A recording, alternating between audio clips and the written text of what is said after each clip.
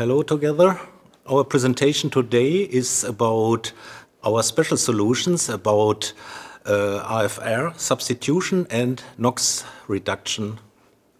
My name is Andreas. I was uh, busy in different functions. In process, actually, I'm responsible in our technology department for Pyro Solutions.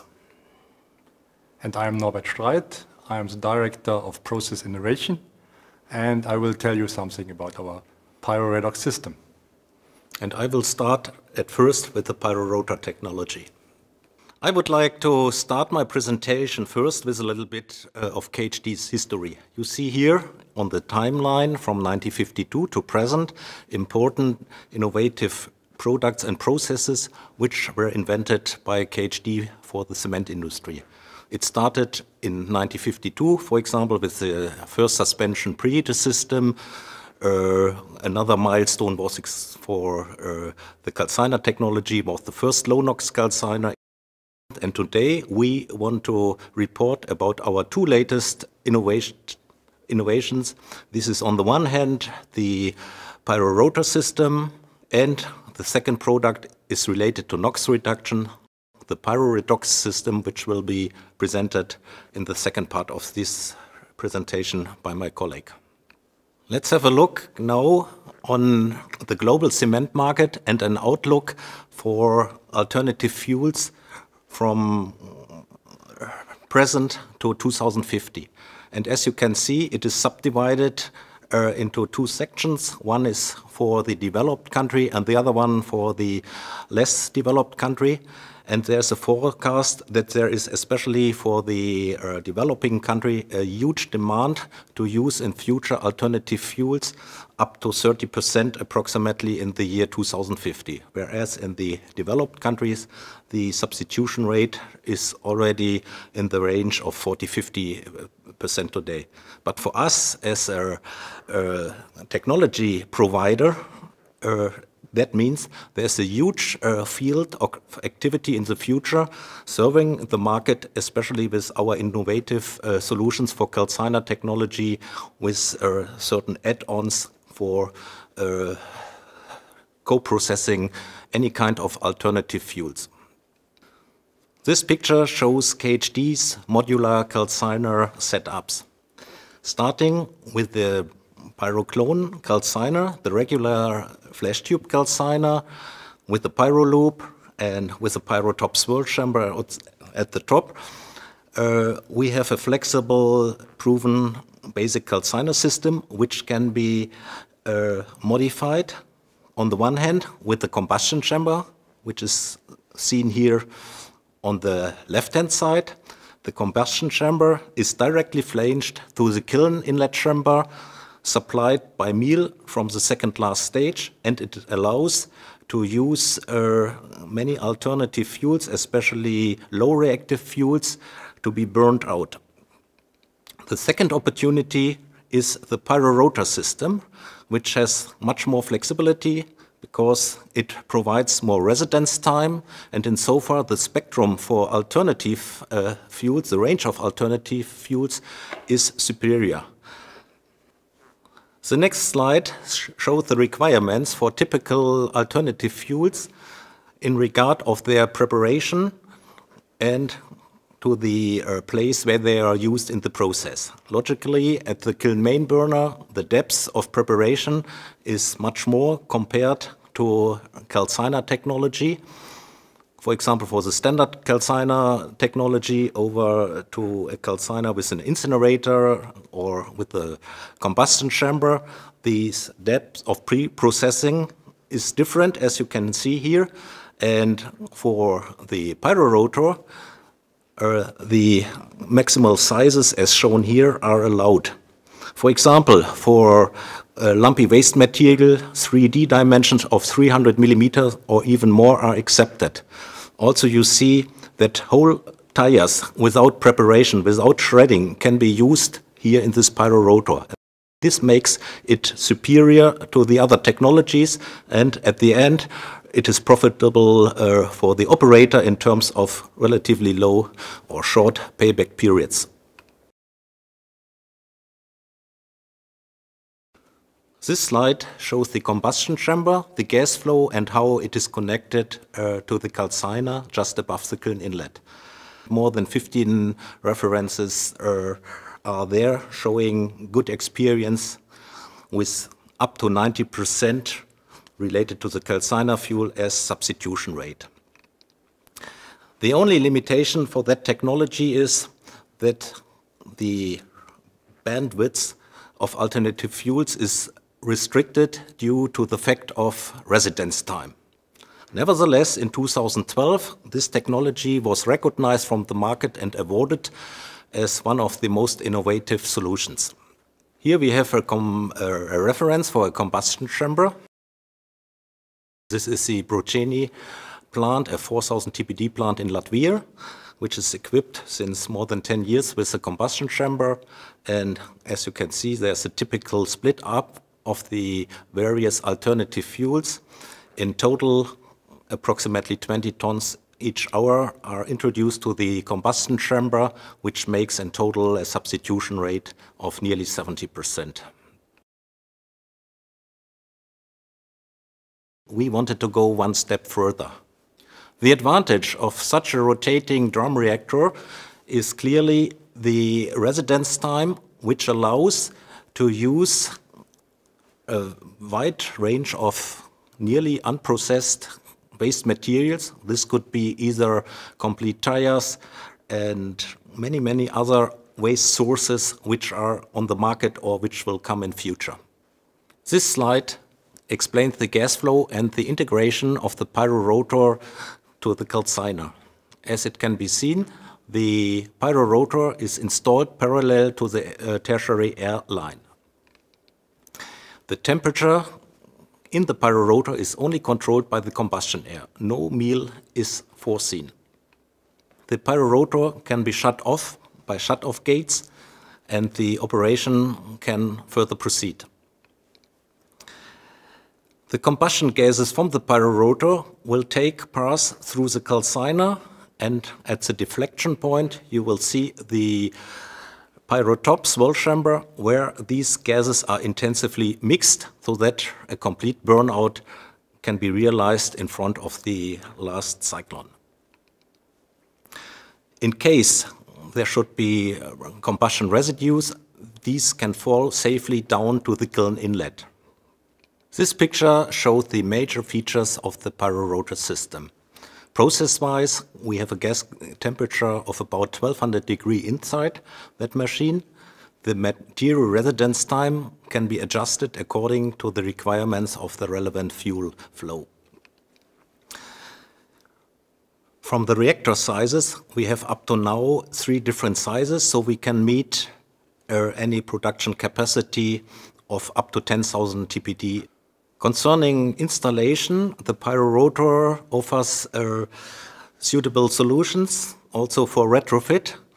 This machine is compared to competitor systems relatively compact, so it might be possible to install it either in an existing uh, preheater or outside. That makes the machine flexible in terms of installation. For the Pyrorotor, we have defined a product range which comprises up to now three sizes from 3.4 meter, 4.2, up to 5 meter. We can meet all the requirements from plants 2,000 tons onwards up to 10,000 tons.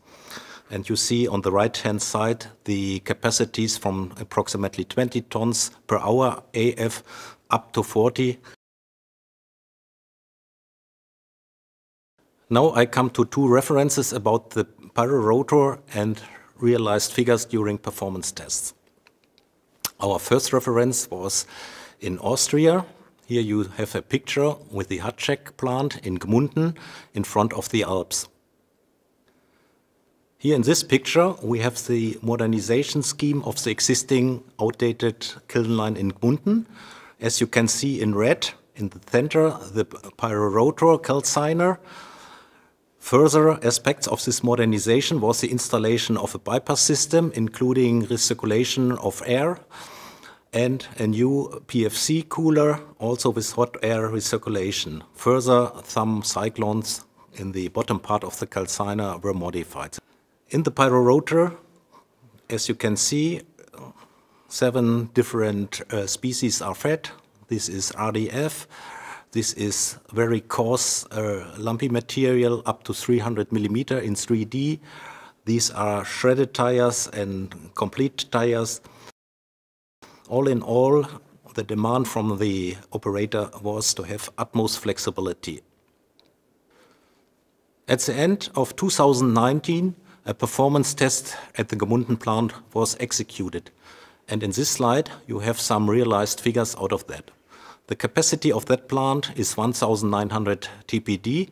The total substitution rate, including uh, alternative fuels, also at the kiln main burner, uh, arrives at approximately 98%.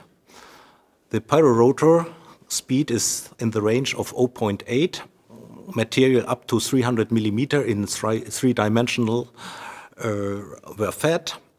The temperature at the inlet of the pyrorotor in the range of approximately 950 degree at the outlet, approximately up to 1200 degrees. The second reference is related to South Korea. Here at the SsangYong Group, we dismantled two outdated calciner systems. These were fluidized bed reactor systems and replaced them with the pyrorotor. Both lines are more or less identical and have a capacity of 4,800 tons per day. The fuel scenario of the two kiln lines, which are more or less alike to the Gmunden, the most important factor was to have a flexible system even for those alternative fuels which are not known yet. We see that the substitution rate, and this was the guarantee, is above 85% in total. We see also that the RPM is here in that case 2.2. In total, approximately 20 tons of alternative fuels was fed to the pyrorotor. The positive results of the pyrorotor have especially aroused interest in those countries where the AF uh, is under development. And so far, countries like Turkey, China, and also South Korea have big interest. The Indian market, which is a very important market for KHD, they are interested in a large capacity pyrorotor for approximately 30 to 40 tons per hour alternative fuels. I want to summarize as follows. The first project in Austria is commissioned and operates successfully. Same for two plants in South Korea, and in the pipeline we have another uh, number of interesting projects. So that means the market has highly accepted the advantages and the flexibility of that reactor, which avoids uh, pre-processing costs. And with that, I want directly to pass over to my colleague Norbert Streit. I say thank you for your attention. Thank you, Andreas, for your very interesting presentation. I will now switch over to another innovation, and this is the Pyroredox calciner module to abate NOx emissions.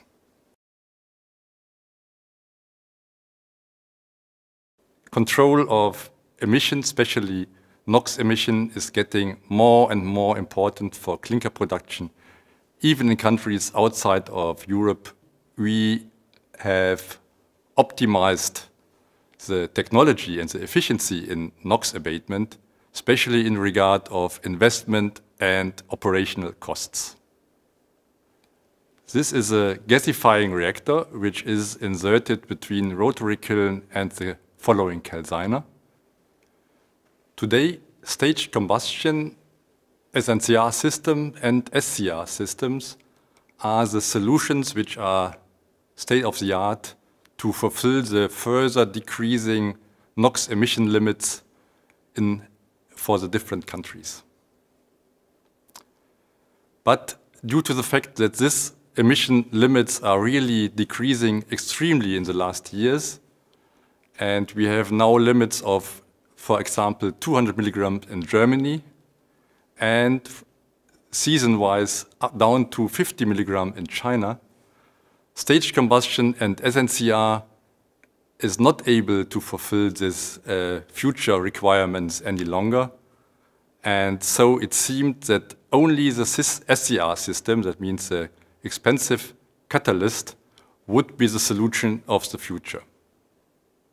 As you can see in this scheme, our new developed pyroredox is able to fulfill emission limits down to 200 without ammonia injection, and in combination with ammonia injection, even extremely low emissions like 50 or 30 milligrams can be achieved as we have proven in our earliest installations in China. To achieve this target, the so-called Boudouard reaction is the key. The high CO2 level coming from the rotary kiln is reduced by the fuel which is fed to the inlet of the pyroredox nearly completely, forming a high level of CO. The temperature can be controlled by the amount of fuel which is fed to the pyroredox in combination with the excess, excess oxygen level which comes over with the exhaust gases from the rotary kiln. By this, the meal feeding can be minimized, which ensures, on the one hand, that the catalytic effect of the uh, raw meal is given, but avoided, on the other hand, the additional CO2 emission coming from this raw meal. Under these conditions of extremely high carbon monoxide values, NOx is really abatement down to nearly zero uh, ppm of NOx in the exhaust gases. And after passing this gasifying reactor, the CO is combined with the oxygen coming from the tertiary air duct, and then in the burning burnout zone of the following calciner, the exothermal reaction of CO burning to CO2 takes place, and the calcining of the main part of the uh, raw meal can be executed. As already mentioned, the pyroredox is designed for lowering down the NOx emissions down to below 200 milligrams if no ammonia injection is foreseen. And in combination with an SNCR system, that means with ammonia injection, 50 or 30 milligram limits can be achieved.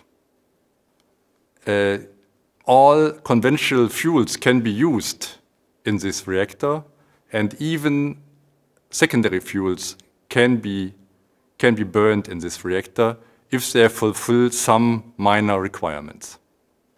In addition to the NOx abatement, the pyroredox uh, reactor also gives you additional retention time in your overall calciner. Here we see now how the pyroredox uh, module is fitting into a KHD standard kiln system with a pyroclone R calciner and the swirl chamber at the top, the so-called pyrotop. High attention was paid to the connecting part of the pyroredox to the calciner and to the TAD, that means to the tertiary air duct, because on the one hand, the high pressure drop should be avoided. On the other hand, downfalling and settling raw material have to be avoided as well. As projects for complete kiln lines, new kiln lines, are getting rare nowadays in the common and recent uh, business uh, uh environment, it is not astonishing that the first installation at the end were retrofit installations at existing plants in China, where at the same time the emission permitted emission levels were getting extremely low. The agreed emission level was at that time 200 milligrams, which was relevant for this area 2018. but the time schedule to uh, erect and commission the plant was extremely tight. So it was foreseen by the customer that the plant should go into operation till autumn of 2018. So we divided the work which has to be done in three major parts. The first part was the fundamental work of process design and general arrangement, which was done in Cologne. The part which was much more intensively in regard of work time was done from our office in Beijing. The third part was overtaken by the customer himself. He was responsible for civil, he was responsible for manufacturing, and he was responsible for the erection of the plant. The commissioning was not done in autumn, but in January and February of 2019. On the le left hand, we see the Huaihui plant before modification. On the right hand, after the modification. It is a 5,500 tons per day plant. The same is with the reference Qingdeng, also a 5,500 tons per day plant. Left before, right hand after modification.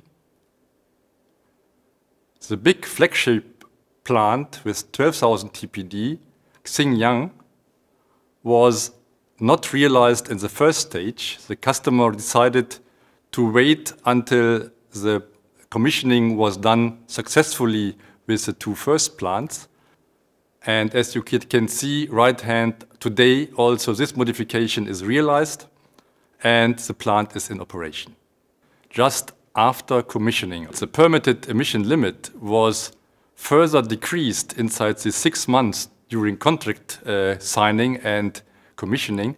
So now the level which has to be achieved was with 100 milligram for Huaihui and later on even 50 milligram for Qingdeng.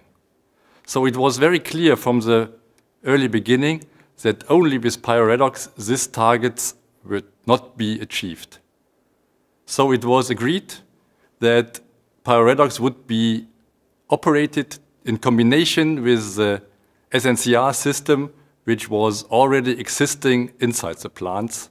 The ammonia consumption was drastically reduced from 2,100 liters per hour at Huaihui at the beginning down to 400 liters at the end of commissioning. In addition to that, the total performance of the kiln line was not disturbed at all. That means the production was from the beginning onwards on the same level as before. The heat consumption was the same as well as the power consumption. Here we see a screenshot covering the trend of NOx emission as well as ammonia consumption in the first 24 hours of production of the Huaihui plant after modification.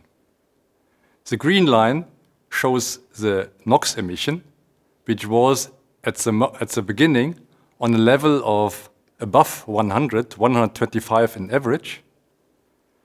And the ammonia consumption was at the maximum of the possible capacity of the SNCR system from the customer with 2,100 liters per hour. After feeding first fuel to the pyroredox, the NOx emission goes directly down to below 100 milligram, and simultaneously, the consumption of, of ammonia was also decreased significantly. Then a period followed where we had some problems with the coal and meal splitter.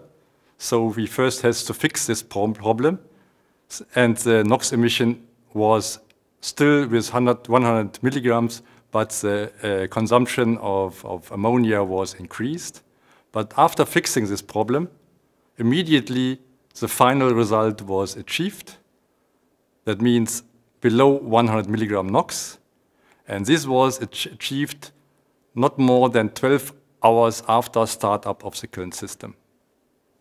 The commissioning of the Qingdeng plant was even smoother and faster. So directly after startup, we were able to feed fuel to the pyroredox.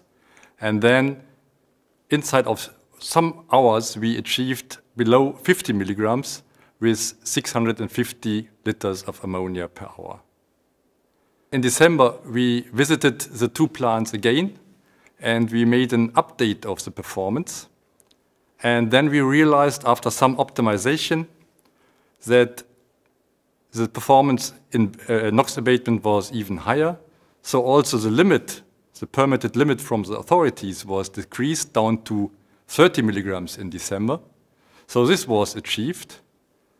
Uh, the ammonia consumption was more or less on the same level. And also no problems in long-term operation of the plants in regard of capacity, fuel consumption, or power consumption. And what is most exciting is the customer reported us that the, the plant is very easy to operate. The calciner is easier to operate than before as it was without pyroredox. This screenshot is showing us trends of NOx emissions as well as ammonia slippage over a period of uh, five, five days. On the left hand, you see the scale for the NOx emissions, which is up to uh, 40 milligrams. In average, we were always below 30. And the ammonia emission was normally with raw mill switched on in, on a level of one milligram per normal cubic meter. And only if the raw mill was switched off, the external circuit of ammonia is unloaded, and the emission was going up to 5 milligram, which is also very low in comparison to other plants operated with SNCR systems. As a result from this success, several following projects are now in the pipeline. As already mentioned, the Xinjiang plant is under operation since half a year. Another plant in Yongan is also realized under erection today is the Chettinad plant in India, which is an 8,000 tons per day complete new kiln line delivered by KHD together with the pyroredox system, and the Guangshan plant in Henan province. Very recently, we signed four further contracts in China two further with the Tianwu group because the performance we have shown in this retrofit installations has really brought us a lot of respect and interest. After having presented the success story of pyroredox installation in China, I now want to summarize the KHD vision and roadmap for cleaner pyrotechnology. As in the past, KHD will continue to, to develop pyrotechnology which enables sustainable and cost-efficient clinker production. Simultaneously, we will always focus on emission abatement as well as cleaner environment. Pyrorotor and Pyroredox are no prototypes any longer. Both technologies are established now and accepted in the market and have proven the ambitious and guaranteed performance. Pyrorotor enables our customers to leverage the huge pot potential which is given by high substitution rates with secondary fuels. This lowers down the carbon footprint, it lowers down the cost, together with the unmatched flexibility in regard of using poorly prepared secondary fuels. And Pyroredox is able to reduce NOx emission significantly and reliable below a level of 200 milligrams without and below 30 milligrams in combination with ammonia injection. Thank you very much for your attention to our presentation, which we had for you. And if you have any questions, please forward them to us. We will come in touch to you immediately. Thanks again. Thank you also from my side and hope you to see you soon in one of another web seminar.